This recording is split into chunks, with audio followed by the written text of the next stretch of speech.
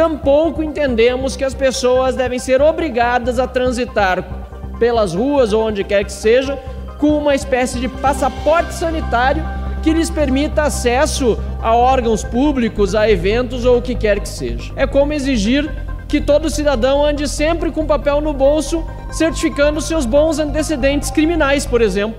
O novo entende a intenção do projeto e entende, talvez até melhor do que muitos outros, a necessidade de nós retomarmos com segurança uma série de setores econômicos no nosso país, dentre eles também o setor de eventos. Eu tenho defendido isso desde o início da pandemia, que medidas precisavam e precisam ser tomadas durante a pandemia para garantir o distanciamento social, respeito a protocolos, uso de máscara, álcool gel e assim por diante, mas que não poderíamos inviabilizar o funcionamento da iniciativa privada.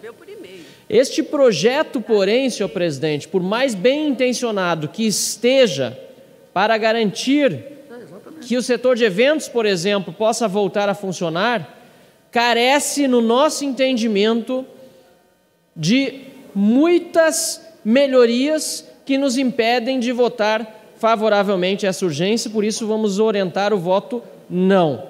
A começar, senhor presidente, pelo fato de que ele obriga o cidadão a apresentar um certificado de vacinação ou então de testagem, que muitas vezes não está disponível tão facilmente para o cidadão que vai acabar ficando excluído de participar de algum evento ou de alguma atividade.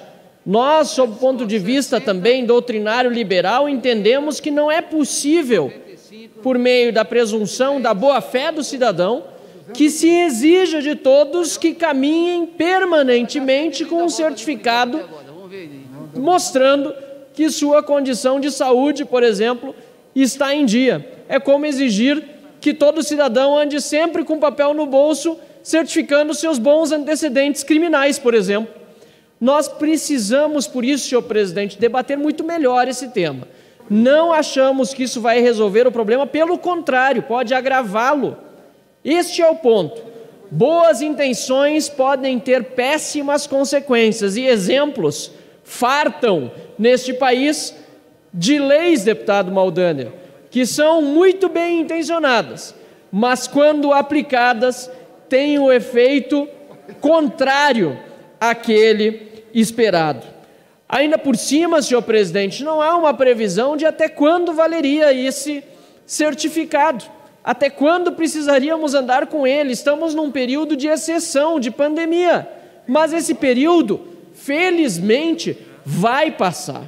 Portanto, senhor presidente, nós orientamos contra esse projeto por entendermos que ele não melhorará a situação, por mais bem intencionado que seja, deve agravar, e sob o ponto de vista doutrinário, sob o ponto de vista da defesa das liberdades, tampouco entendemos que as pessoas devem ser obrigadas a transitar pelas ruas ou onde quer que seja com uma espécie de passaporte sanitário que lhes permita acesso a órgãos públicos, a eventos ou o que quer que seja.